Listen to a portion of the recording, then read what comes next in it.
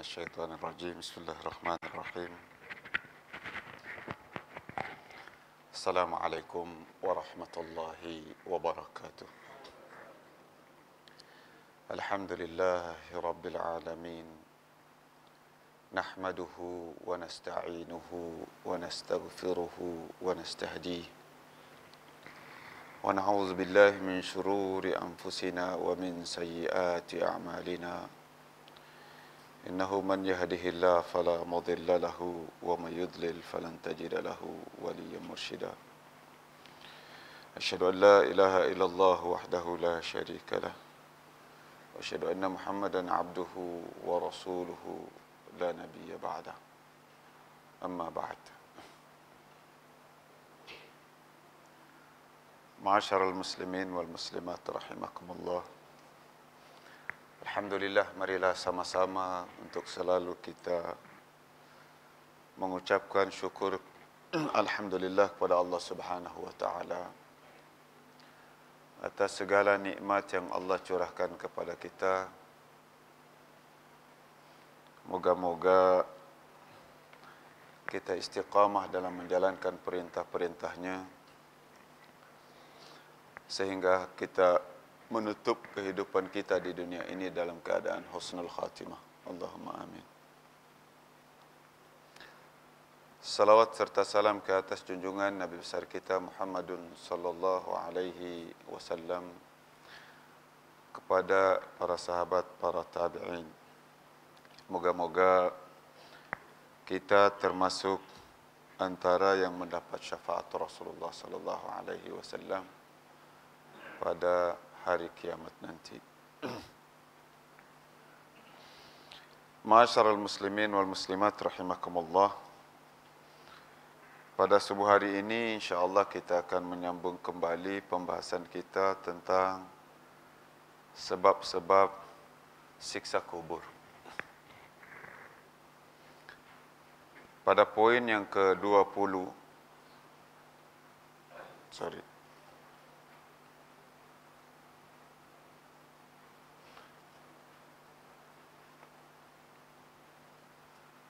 Pada poin ke-19 yaitu membuat-buat atau menciptakan sesuatu yang tidak pernah ada dalam urusan agama. Nabi sallallahu alaihi wasallam pernah menyatakan bahawa pelaku bid'ah adalah ibarat anjing-anjing penghuni neraka. Ini satu istilah yang pada zaman kita sekarang ini sangat menakutkan dan menjadi isu Uh, di antara kaum muslimin di mana saja tempat. Jadi perkataan uh, bid'ah. Tapi bagaimanapun juga kita mesti menyikapi bahawa hadis Rasulullah sallallahu alaihi wasallam tentang bid'ah adalah hadis yang sahih. Hanya kemudian yang menjadi sebab di antara kaum muslimin kadang-kadang kemudian timbul kesalahfahaman yang sampai pada tahap susah untuk berkomunikasi. Bahkan sampai pada tahap uh, ada kadang-kadang di sebahagian tempat itu sampai misalnya itu masjid dibakar itu boleh berlaku hal-hal seperti ini. Uh, dan para ulama punya pembahasan dalam terkait dengan isu ini dan para ulama banyak menulis tentang isu ini termasuk yang yang sangat popular adalah Asy-Syatibi atau juga Abdullah bin Al-Iz Abdullah bin Al-Iz Abdul Salam. Al-Iz bin Abdul Salam. Uh, ini isu yang juga sangat sensitif. Tapi kalau kita melihat uh, cara para ulama membahaskan, uh, kita akan mendapatkan uh, jawapan-jawapan yang teduh. Uh, sampai sekarang masih ada yang menyikapi bahawa yang namanya bid'ah itu adalah dalalah dan setiap dalalah itu adalah finnar. Ini yang selalu menakutkan kita. Uh, tapi di antara para ulama juga menyebut ada yang membagikan bid'ah itu ke dua bahagian, ada juga yang membagikan lebih dari situ. Maka ada yang menggunakan ungkapan ada al-bid'ah al-mazmuma, ada al-bid'ah al-mahmudah. Tapi sebahagian orang tidak mau terima. Sebahagian dia kata bahawa yang namanya bid'ah itu dah memang close. Tapi secara bahasa memang secara bahasa bahawa yang namanya bid'ah itu kan segala sesuatu yang diwujudkan baru, tidak ada dasar sama sekali. Langsung tak ada dasarnya. Tapi yang kemudian menjadi permasalahan kadang-kadang di antara kita ini adalah hal-hal yang ada dasarnya. Misalnya berzikir. Zikir itu dasarnya ada. Berzikir itu dasarnya ada. Misalnya berzikir ada orang yang berzikir setiap pagi dia membaca kul huwallahu ahad seratus kali, seribu kali, sejuta kali katalah. Pada dasarnya dari segi jumlah hal-hal yang memang Rasulullah sallallahu alaihi wasallam tidak menetapkan jumlah padanya maka dia adalah sangat terbuka. Kalau di antara kita misalnya ada yang ingin berzikir setiap pagi ingin berzikir subhanallah walhamdulillah wala ilaha illallah seribu kali. Tapi ini dia mengamalkan untuk dirinya sendiri, tidak ada hubungannya dengan orang lain.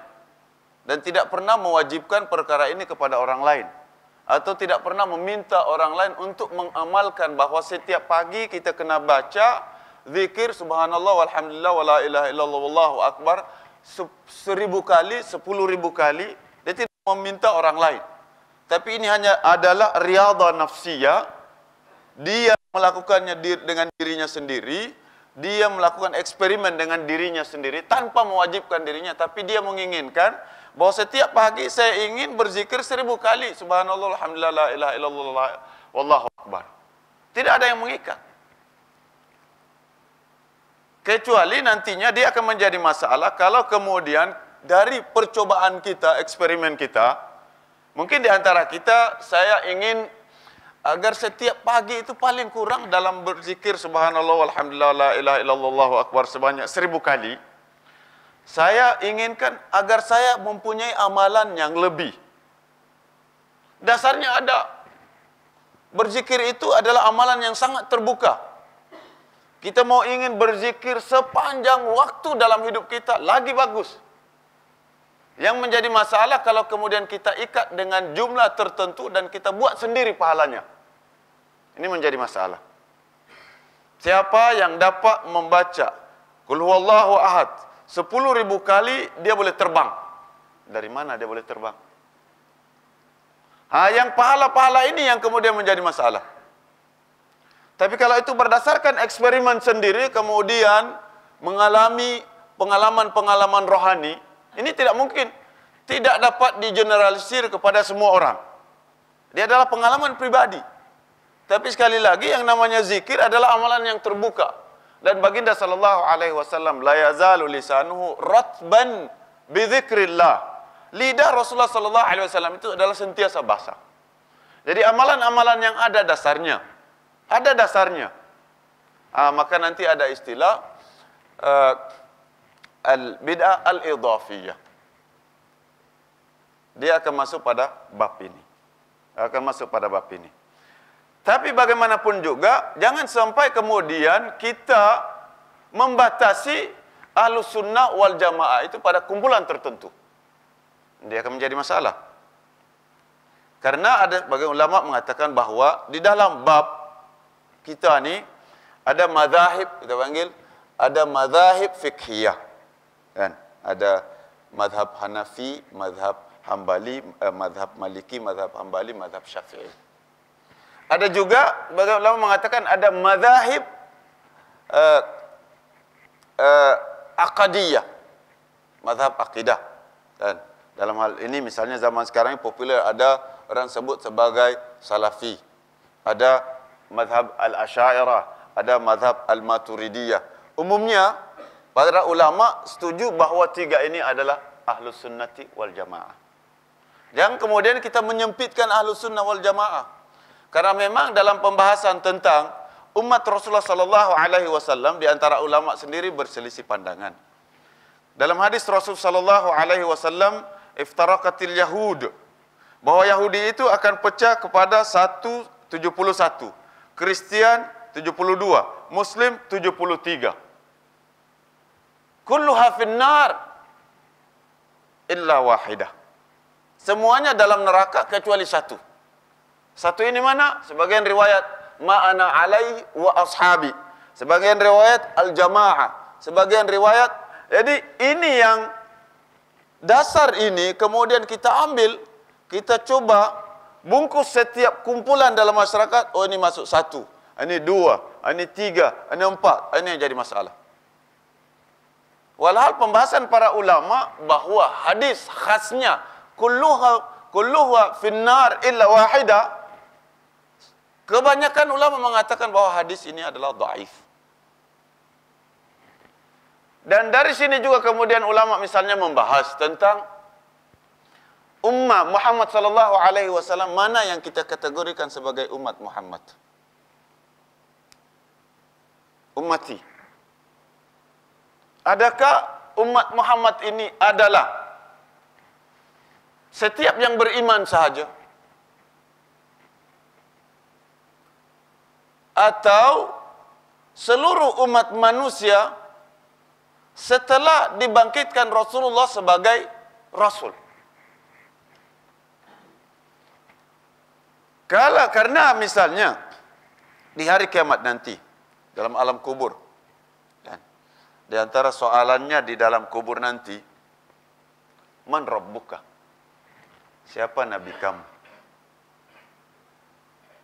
Orang yang ber, yang imannya benar, dia akan menjawab dengan benar. Di antara soalannya,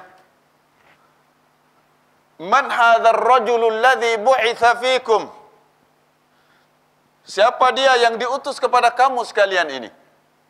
Ini soalan ini sama kepada orang yang percaya dengan Muhammad dan orang yang tidak beriman dengan Muhammad untuk umat Muhammad sallallahu alaihi wasallam. Siapa orang yang diutus kepada kamu sekalian ini yang tidak beriman dengannya maka dia tidak dapat menjawab. Dan kalau dia tidak beriman dengan dia berarti dia bermasalah. Maka di zaman kita ini misalnya di zaman kita ini kalaulah ada orang yang mengamalkan ajaran Nabi Musa kalau masih ada ajaran Nabi Musa yang original kemudian dia mengamalkan ajaran Nabi Musa dia percaya dengan Allah yang satu tapi dia tidak percaya dengan Nabi Muhammad sallallahu alaihi wasallam kemudian di hari kiamat nanti dia akan ditanya oleh Allah Subhanahu wa taala saya beriman dengan ajarannya Musa. Kapan kamu hidup? Tahun 2016. Tahun 2016 itu adakah Musa masih menjadi nabi atau waktu itu nabinya umat manusia yang diutus kepada manusia adalah Muhammad? Kalau nabinya Muhammad masih dipakai ajarannya Musa, tak betul. Maka kata Rasulullah sallallahu alaihi wasallam, "Lau kana Musa hayy, kalau Musa masih hidup, dia mesti ikut saya." Ini Rasulullah sallallahu alaihi wasallam.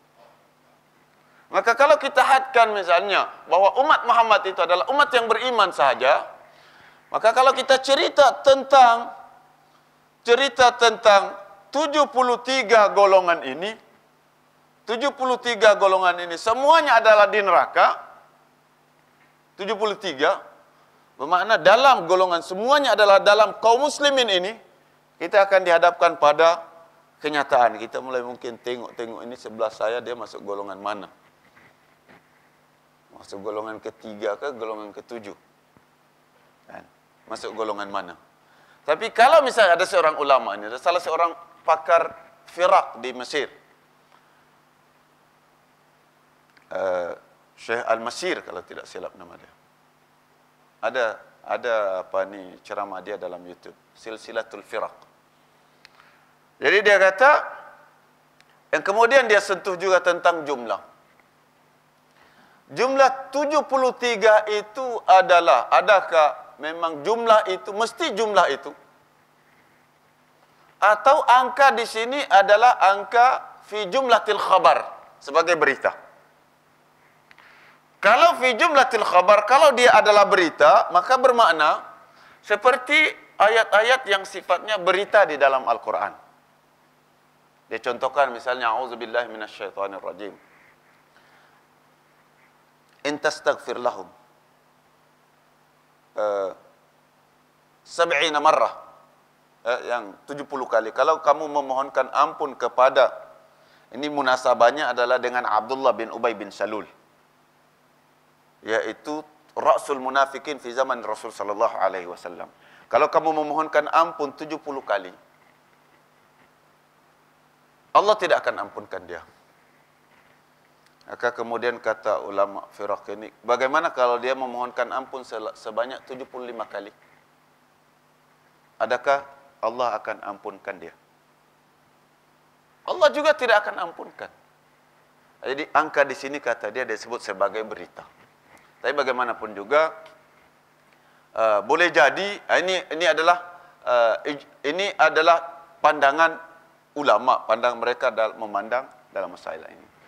Dan kemudian juga misalnya kalau misalnya kita kembalikan kepada tadi yang uh, golongan yang banyak itu. Kemudian para ulama misalnya termasuk Al-Imam Ibn Taimiyah menyebutkan bahwa yang namanya yang golongan yang satu kalau misalnya satu itu ini mereka adalah uh, adalah jumlah yang paling besar. Yang 70 yang lebih itu adalah jumlah kecil-kecil, dikit-dikit, sikit-sikit aja. Tapi as-sawadul a'zam as-sawadul a'zam itu adalah uh, yang masuk dalam golongan yang satu ini. Maka memang bahkan misalnya bahasa bahasa yang masalahnya kalau kita kembali ke poin ini tadi, setiap menyaksikan orang yang melakukan perbuatan yang uh, agak-agak dia terus cop. Wah ini terus masuk misalnya uh, terus dicop. Wah ini bid'ah. Nah, ini kan dia akan jadi masalah kan. Sampai kita pernah dengar misalnya lepas salam begini. Assalamualaikum dan sallallahu alaihi wasallam sampai ada orang misalnya pernah saya dengar sampai ada orang kata ini pun masuk dalam uh, bab bid'ah tersebut sampai ada orang kata begitu kan? Jadi kita akan dihadapkan pada masalah besar. Maka kata seorang ulama misal kata sampai ada ulama mengatakan begini kullu man talabbasa bi bid'atin ghaira mughallaza wa lam yad'u ilaiha setiap yang dia mungkin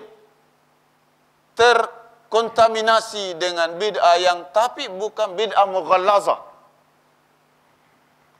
dan tidak mengajak orang untuk melakukan perkara tersebut.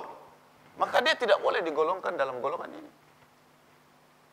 Tidak boleh digolongkan dalam golongan ini. Maka nanti memang, kalau misal kata Ibn Dadu, dia kata, ada juga sifatnya yang memang orang sebut orang sebut misalnya dia itu adalah dia itu perbuatan beda. Sebenarnya dia bukan beda lagi, tapi dia dah keluar dari Islam. Dia dah keluar dari Islam. Kan? Hal-hal yang memang langsung tidak ada asas. Kalau misal kata di zaman sekarang ini, orang nak kata, orang orang ingin melakukan salat maghrib empat rakaat. Siapa yang akan setuju? Kan? Dan masalah yang selalu wujud di antara uh, firak di antara mazahib aqaidiyah ini sebenarnya tidak pada masalah-masalah yang uh, dia masalahnya selalunya selalunya adalah kebanyakannya pada masalah al-asma wa sifat. Al-asma wa sifat. Tapi tidak pernah misal kata kita mendengar ada yang mempertikaikan kewajiban solat fardu. Ada yang mempertikaikan tentang keesaan Allah Subhanahu wa taala. Kalau misalnya seseorang itu mengucapkan la ilaha illallah Muhammadur Rasulullah, maka tidak ada yang boleh mengeluarkannya dari ayat ini, dari ucapan ini kecuali memang dia mencabut la ilaha illallah Muhammadur Rasulullah. Maka memang perkara perkara keluar dari Islam dia, dia ini adalah perkara yang bukan mudah. Bukan perkara yang mudah. Maka ukurannya bagaimana? Dia salat, dia ini, dia semua yang memang clear usul ad-din, asas-asas agama yang jelas. Apa dia? Salat. Apa dia? Dia beriman kepada Allah, beriman kepada Rasulullah. Apa dia? Kalau bab-bab yang sifatnya nanti bab-bab yang mungkin di antara ulama berlaku perbezaan pandangan, jangan kita terjebak dalam bab itu. Tapi kita tidak mungkin juga. Dan memang nanti kita akan jumpai banyak. Kita berzikir, berzikir begini kan, zikir tiba-tiba datang. Apa awal? La haula. Kejap, kejap, kejap. Tunggu dulu. Kan? Jom kita zikir sekali. Kan? Kita zikir sekali. Kan? Itu kadang-kadang dia yang muskilahnya kadang-kadang uh, baru. Saya kata baru belajar lagi kan. Seorang baru semangat ni kadang-kadang. Ini dia jadi muskilah. Tapi bagaimanapun juga isu ini tidak akan pernah selesai. Maka yang paling elok bagi kita adalah bahawa setiap muslim itu adalah saudara. Bahawa syurga itu yang punya hak menentukan siapa yang masuk syurga, siapa yang masuk neraka, itu hak mutlak Allah Subhanahu wa taala. Sampai Muhammad tidak punya hak untuk menentukan awak dalam syurga, tak ada. Muhammad sallallahu alaihi wasallam menyampaikan kepada Fatimah, "Wahai Fatimah, jaga diri kamu dari siksa api neraka." Ayah kamu tidak punya kuasa untuk menyelamatkan kamu dari siksa api neraka. Yang punya hak siapa? Rasulullah sallallahu alaihi wasallam. Bukan main Rasulullah sedihnya ketika Pak Cik dia meninggal dalam keadaan kufur. Allah turunkan firman-Nya, "Innaka la tahdi man ahbabta walakin Allah yahdi man yasha." Kamu tidak kuasa untuk memberi hidayah kepada siapa yang kamu suka, tapi Allah memberi hidayah kepada siapa yang Dia kehendaki. Muhammad sallallahu alaihi wasallam.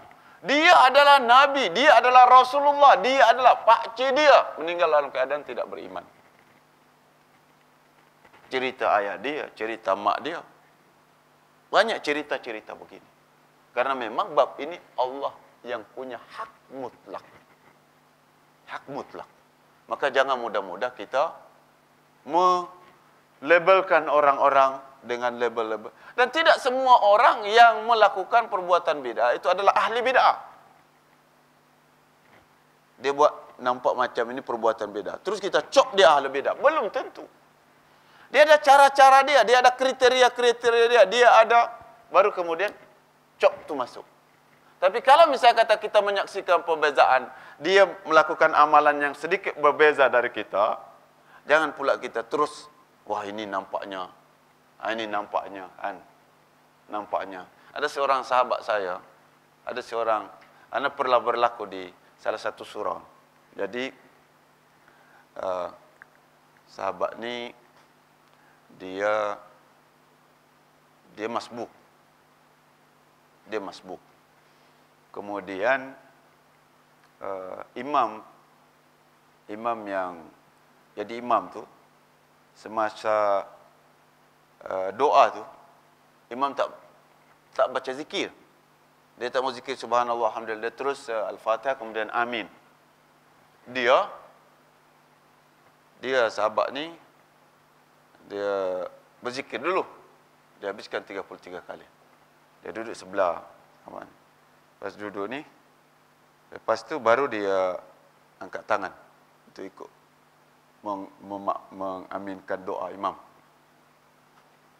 Lepas salam tu Terus Terus dia tengok di samping dia Terus ada orang yang sebelah dia, ada makmum sebelah dia ni. Dia terus marah-marah dekat dia. Ha. Awak ni Wahabi apa? Allah haula wala Dia pun tergelak la haula. Pak cik. Dah apa ni pak cik? Kan? Ini yang masalah kita yang belah sini dia mancok, yang belah sini dia mancok. Agar kita yang graduate Madinah ni nak pergi mana-mana kadang ah, itu dari Madinah tu wah, itu kena hati-hati tu. Itu adalah Wahabi. Allah akbar. Kan? Kita jadi masalah. Kita nak pergi jadi masalah. Berzikir 33 kali misalnya kata. Orang tidak berdoa apa masalahnya? Kalau berdoa apa masalahnya? Kalau misalnya kata tidak berdoa selepas salat. Kan? Sebenarnya antara waktu yang paling baik untuk berdoa itu setelah melaksanakan kebaikan. Setelah melakukan kebaikan. Kan? Kalau misalnya kata saya nak berdoa, apa masalahnya? Kalau saya tak berdoa, apa masalahnya? Tapi semua bila tengok saja dia dari Madinah ini Wahabi. Bukan di Malaysia, di Indonesia pun macam tu berlaku. Tapi di Madinah pun sampai tahapnya macam mana? Sampai tahapnya, experience kami, tahapnya macam mana? Kami jalan, kami jalan ni. Sebahagian sahabat-sahabat kami dengan kami dia tak mau dia tak mau baca salam. Assalamualaikum dia tak mau. Ini muskilah. Kalau sampai tahap ini memang dah muskilah. Kan? Jadi mengucapkan salam kepada orang tertentu sahaja. Itu sampai berlaku. Itu kita mengalami. Kan? Kita mengalami. Memang ini permasalahan, salah satu permasalahan yang di Libya sana ada mufti dia hantar surat kepada beberapa ulama di negeri lain. Tolong jangan bagi fatwa untuk masyarakat kami. Biar fatwanya adalah ulama yang ada dekat sini. Karena ada orang tak tahu masalah, dia minta fatwa kat sana, tiba-tiba keluar fatwa dari sana tu bahawa yang ini tak boleh, yang ini boleh. Yang ulama kat sini lebih faham tentang masalah yang sedang berada. Berlaku jihad di Ambon sana, jihad. Perang Islam melawan Kristian. Ada orang datang minta fatwa ke negeri seberang sana, jauh sana. Dia kata, ini bukan jihad. La haula wala quwata illa billah. Orang semua tengok kat sana Kristian membantai kaum muslimin. Dia kata ini bukan jihad. Ini cerita apa ni? Ini dari mana? Yang orang kata ini ulama yang bagi fatwa ni kod tak tahu tentang permasalahan yang sebenar. Orang bawa cerita tu mungkin tak betul. Ini dia jadi masalah. Kan? Dia jadi masalah. Tapi ini antara masalah yang wujud di seluruh kaum muslimin zaman sekarang. Seeloknya bagaimana kita lapang dada. Kita akan menyaksikan perbezaan-perbezaan. Kita akan menyaksikan. Tapi kita berlapang dada. Kunci dia adalah apa? Dia salat. Dia beriman kepada la ilaha illallah Muhammadun Rasulullah. Dia membayar zakat. Dia puasa. Dia haji. Ini adalah kunci-kunci utama bahawa seseorang itu adalah muslim. Al-A'rabi datang kepada Rasulullah sallallahu alaihi wasallam, "Ya Rasulullah, apa yang saya perlu kerjakan?" kata Rasulullah syahadat puasa eh, solat puasa zakat eh, pergi haji saya nak buat yang ni je saya nak tambah saya tak nak tambah saya tak nak kurang kata baginda sallallahu alaihi wasallam siapa yang nak tengok penduduk syurga tengok dia tengok dia bahawa kita pegang betul prinsip yang utama kalau misalnya dia tak solat itu masalah tapi sampai pada tahap dia tak solat pun, kita tidak ada hak untuk kemudian kata, eh, awak bukan Muslim. Tak ada. Ini cop-cop yang begini ni jangan kita guna. Tapi memang dalam sejarah kaum muslimin memang uh, banyak berlaku memang. Ikhtilaf itu selalu berlaku. Sampai pada satu tahap solat tu mimba, apa ni, mihrab. Itu empat. Itu imam. Empat. Jadi mazhab Hanafi solat dulu. Mazhab lain tunggu lah. Assalamualaikum warahmatullahi Assalamualaikum warahmatullahi Berdiri lagi mazhab maliki, imam mazhab maliki. Kan? Makmum yang mazhab maliki itu, salat. Lepas tu, datang lagi mazhab uh, mazhab syafi'i. Datang imam, imam. Sampai begitu. Sampai pada tahap. tidak menikahkan tidak menikahkan antara la yuzawwiju tidak menikahkan misalnya Syafi'i dengan Hanafi atau dengan Hambali begitu. Tapi kemudian katanya fatwanya diperhalusi. Boleh karena dianggap sebagai ahlul kitab. Itu pernah berlaku di antara kaum muslimin. Jadi perselisihan di antara kaum muslim itu sentiasa akan wujud. Tapi kita digalakkan untuk berlapang dada kepada setiap kaum muslimin. Setiap kaum muslimin. Bilal radhiyallahu anhu datang kepada Rasulullah sallallahu alaihi. Rasulullah jumpa dia. Wahai Bilal, kenapa saya melihat kamu jalan lebih dahulu daripada saya di syurga? Kenapa ni wahai Bilal? Ya Rasulullah, saya selalu mengamalkan kalau misalnya pas saya wudu saya solat dua rakaat. Ini tidak pernah Rasulullah perintahkan kepada dia untuk melakukan perkara tersebut. Ya. Jadi bab-bab yang sifatnya masih terbuka, jangan kita beri kunci-kunci penutup. Kecuali kemudian kita mewajibkan sesuatu yang tidak wajib tadi. Kan? Kalau memang zikir yang memang dah jelas. Siapa yang baca zikir subhanallah walhamdulillah wallahu akbar 33 kali setelah selesai solat. Kemudian dia dia ikutkan dengan wala haula wala quwata illa billahil aliyil azim. Maka Allah akan ampunkan dosanya walaupun sebanyak buih di lautan. Ha, itu yang jelas-jelas begini memang disampaikan oleh Rasulullah, ha, itu clear. Clear. Kan? Tapi yang kalau yang tak jelas man qala la ilaha illallah dakhala al jannah. Siapa mengucapkan la ilaha illallah dia masuk syurga. Berapa kali ya Rasulullah suka-suka awak? Tak ada had. Sejuta kali. Dia nak duduk subuh. Subhanallah, subhanallah, subhanallah, subhanallah, subhanallah, subhanallah. Setiap pagi dia duduk kat situ. Dia tak suruh orang lain pun. Dia nak, saya rasa nak puas hati, nak puaskan hati saya itu kalau saya dah zikir seribu kali misal kata selama. Tapi tidak mewajibkan kepada orang lain. Tidak menyuruh orang lain untuk melakukan. Dan kemudian juga tidak mengatakan bahawa kalau saya tak buat begini dengan jumlah yang begini, maka saya akan berdosa. Tak ada. Saja saya nak mencapai target tertentu. Karena kalau kita punya target tertentu, kalau kita belum capai, rasa kita masih kurang. Kan? Kita nak berzikir, okey, kita tunggu sahabat kita. Kita nak berzikir subhanallah sebanyak seribu kali. Subhanallah, sambil tunggu-tunggu. Subhanallah, subhanallah, subhanallah, subhanallah. Baru lima ratus kali datang. Masya Allah, dah datang. Kalau orang datang lambat sikit lagi, seronok saya. Kata. Kan? Ha, dah berzikir. Ha, ini bab ini. Jadi, bab ini jangan kita selalu memandang dua-dua punya sikap yang ekstrim. Kan? Dua-dua. Satu begitu, satu juga begitu. Kita lapang dada. Kita lapang dada dengan setiap kaum muslimin. Siapa yang baca zikir la ilaha illallah itu sebaik-baik zikir. Siapa yang baca subhanallah itu zikir. Siapa yang baca ah, itu dia ada mungkin di antara yang baca zikir Allah Allah Allah. Ini mungkin dia sebenarnya ya Allah ya Allah, tapi memang zikirnya Rasulullah selalunya dengan lafaz-lafaz subhanallah, alhamdulillah, Allahu akbar. Dia selalu ada gandengannya. Itu kalau zikir Rasulullah. Bagaimana kalau yang hanya berzikir ya Allah, Allah, Allah, Allah. Kan?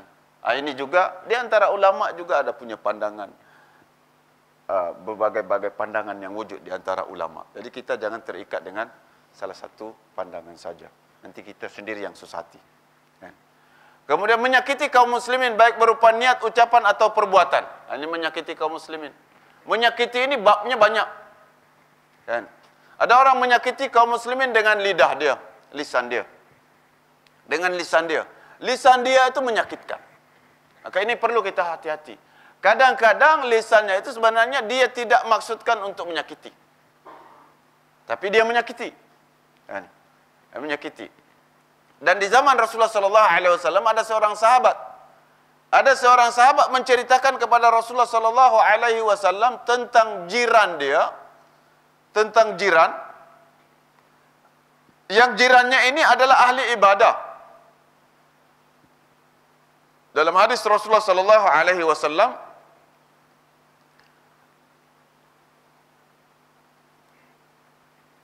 Ini saya bacakan hadis dia tentang seorang jiran ni.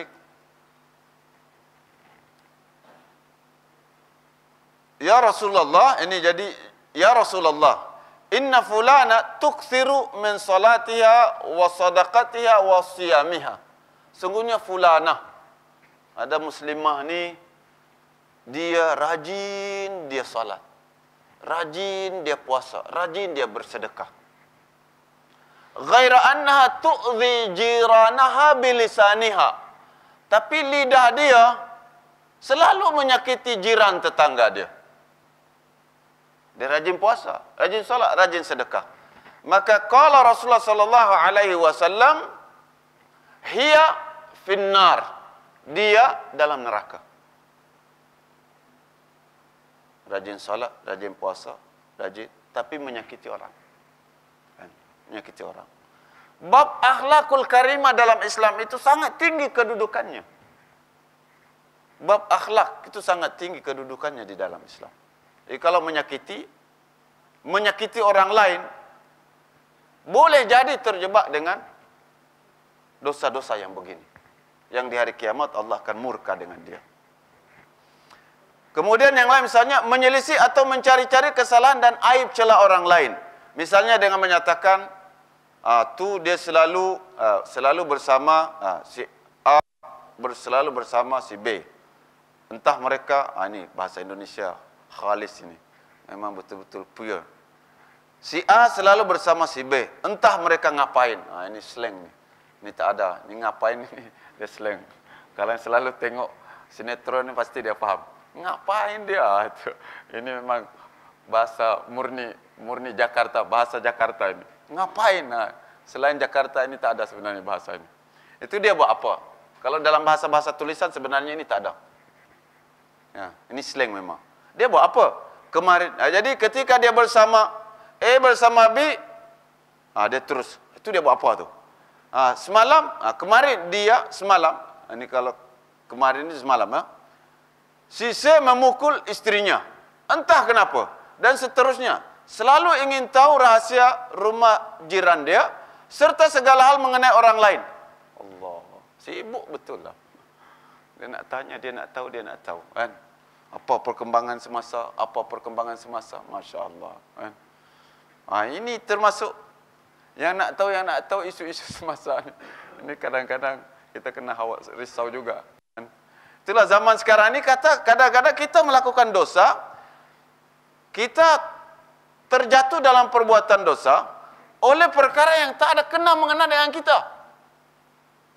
Tak ada kena mengena dengan kita. Langsung tak ada hubungannya. Kita pun mungkin selama ini tak kenal langsung dengan dia. Baru kenal buka Facebook, ada cerita dalam Facebook, cerita dalam Facebook tu. Kemudian kita pun ikut marah dengan orang yang diceritakan dalam Facebook tu. Walhal cerita sebenar bukan begitu. Ini makcik ni betul tak betul lah. Ini pakcik seorang ni, ah sudah. Macam-macam dia pun keluarkan komen. Ayat dah keluar, ayat dah. Dia tak kenal pun siapa dalam. Yang yang pijak kaki. Awal letak kaki awal kat situ apa pasal lah. Ini tak wujud. Selalunya tak wujud begini. Tapi memang tabiat kita di sini memang tabiat lemah lembut. Itu perlu kita syukuri. Alhamdulillah. Ya, Alhamdulillah. Jadi kalau misalnya kata ada orang yang bahasa-bahasanya keras dengan anak, dengan orang tua, dengan mak, dengan uh, isteri, dengan suami, itu jarang. Itu adalah minoriti, golongan minoriti. Uh, golongan minoriti. Ada sebahagian bangsa yang memang kalau suara tak keras tu dia aneh sikit. Kan? Awal sikit-sikit Allah kita pun terkejut. kita pun terkejut. Tapi lama-lama kita faham, oh memang uh, mereka ni jenis begini. Uh, kita faham. Kan? Jadi mengikuti mencari-cari aib orang ni sangat sangat sangat berbahaya. Di zaman Rasulullah sallallahu alaihi wasallam eh, di zaman sahabat Umar Ibn Al-Khattab kalau tidak salah. Jadi Umar ini uh, ada isu bahawa rumah fulan bin fulan uh, di dalam rumah itu ada orang minum arak. Uh, Umar pun nak pergi. Nak pergi tengok. Nak pergi sekali dengan seorang sahabat. Nak masuk dalam rumah tu. Ketika nak masuk tu sahabat tanya, "Kenapa wahai Umar?" Nah, isu lah, isu kan. Nak masuk. Sahabat ini tanya, "Aha kaza anta ya Umar?" Begini ke awak wahai Umar? Nak tahu rahsia orang dalam tu. Kalau sementara orang tu dalam rahasia, jangan kita buka. Tapi kalau orang yujahiru bil maksiyah, dia mengistiharkan maksiat dia, maka orang begini mesti dinasihati di dalam tempat yang terbuka juga. Kita nasihati dia. Tapi kalau dia buat maksiat dalam di dalam tempat yang hanya dia dengan Allah yang tahu atau kita termasuk antara yang ketiga yang tahu, tidak perlu kita cerita. Tidak perlu kita cerita. Ha? Karena siapa yang membuka aib orang lain, maka Allah akan permalukan nanti di hari kiamat. Kalau ceritakan aib orang lain. Tapi aib dia, ha, nanti ada bab-bab tersendiri bila kita boleh cerita tentang orang lain. Misalnya, dia suka menzalimi orang. Atau bahayanya tu, kalau misal kata kita tak bagi tahu orang, orang tu akan terkena bahaya. Kata, misalnya ada orang suka meminjam uang. Setelah dia pinjam ni, selalu dia tak mau pulangkan. Dia buat tak tahu. Dia buat lupa. Dan itu dah ramai orang kena tu. Dah ramai orang kena. Ah yang begini ini mungkin ah, boleh. Untuk apa? Salah satu cara menyelamatkan orang yang zalim terhadap dirinya sendiri adalah menutup pintu-pintu kezaliman. Agar dia tidak melakukan kezaliman lagi. Karena dah banyak, dah ramai orang terkena. Ah ini namanya kita boleh ceritakan aib orang lain untuk kepentingan tertentu.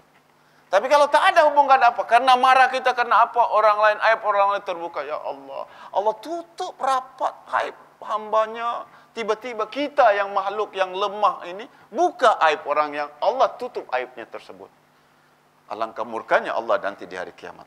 Man tatabba aurata akhihi tatabba Allahu auratahu wa man tatabba Allahu auratahu fadahahu walau fi jawfi baitihi wa man satara aurata mu'minin faka'annama ahya mar'udatan. Siapa mencari-cari aib celah saudaranya maka Allah pun menyelisih aibnya dan siapa aibnya ditelisik oleh Allah Subhanahu wa taala pasti pasti akan tersingkap walaupun berada di dalam rumahnya siapa menutupi aib seorang mukmin maka tak ubahnya ia menghidupkan seseorang yang dikubur dalam keadaan hidup-hidup ini aib kemudian suka mendatangi peramal dukun dan ahli nujum atau supernaturalis ha. Nabi SAW bersabda ha. ini ahli nujum kalau tengok ahli nujum macam mana? Ha, tu. Tengok ahli nujum pak belalang mungkin lain macam. Ha? Ini kalau datang. Jadi dalam bab-bab ahli nujum ini bomo khasnya ni bomo. Ya subhanallah memang bomo ni kalau dia kita kalau kita ikut bomo ni kita akan terjebak kadang dia buat manusia tu tak masuk akal langsung. Saya pernah dengar cerita di Bangi ni, Bangi ni.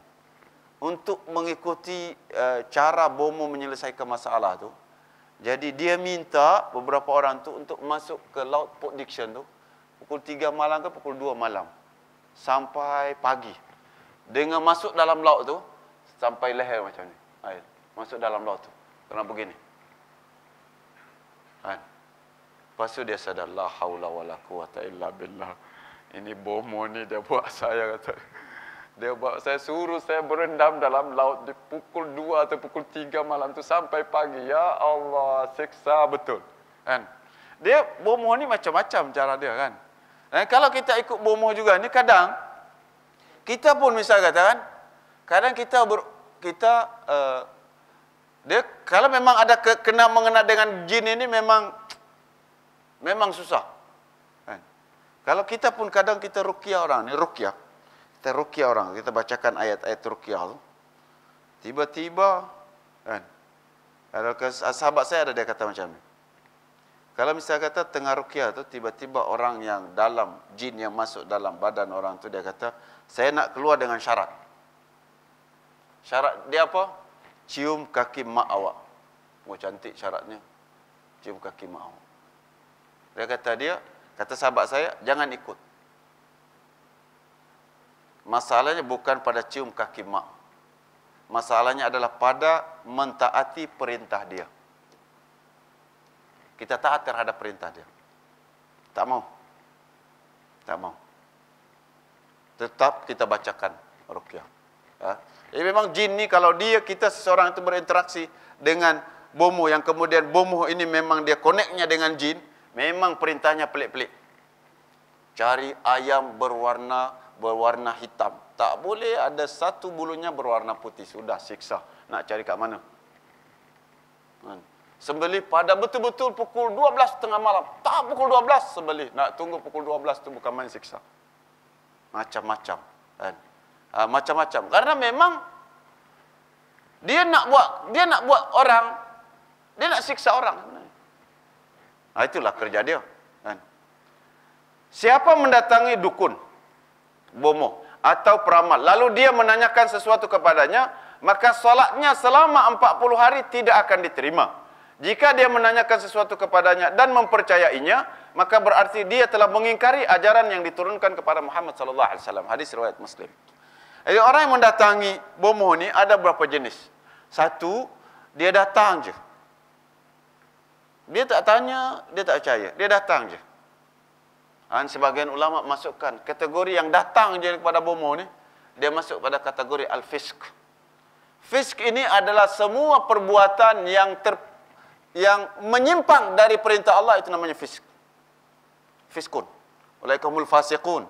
Alladzina yanquduna ahdallah min ba'di mitsaqi wa uh, alladzina yanquduna ahdallah uh, yang cerita tentang al-fasikun. Al-fasikun itu adalah dia fasik ini orang mukmin yang melakukan perbuatan dosa, itu fasik. Fisk, perbuatan fisk. Ada orang yang datang dia bertanya. Dia bertanya saja, dia tak percaya, dia tanya saja. Tuan Bomo, kalau begini apa selesai cara menyelesaikannya begini. Dia tak percaya, ini tak masuk akal lah. Apa nak buat macam tu? Tak percaya saya. Ha, ini kata dia tak diterima solatnya 40 40 hari. Siapa yang percaya dia dah tak percaya dengan ajaran Muhammad. Dia tak percaya. Tapi boleh juga ada golongan yang keempat. Mungkin dia ingin tahu kerja bomoh ini bagaimana sebenarnya. Jadi dia nak tahu, dia nak cerita kepada orang. Jangan pergi kepada bomoh ni. Dia punya kerja begini, begini, begini, begini, begini, begini. Dia jelaskan bahawa perbuatannya semuanya adalah bab-bab yang tidak disukai oleh Allah. Hanya clear. Dia nak pergi itu untuk mendapatkan maklumat, bukan untuk. Jadi ada beberapa jenis yang datang kepada bomoh.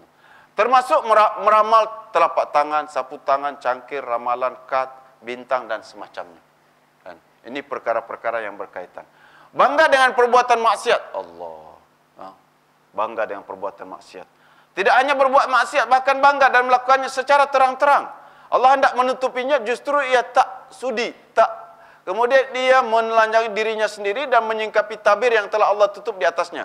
Nabi SAW bersabda, seluruh umatku terampuni. Kullu ummati mu'afan terampuni.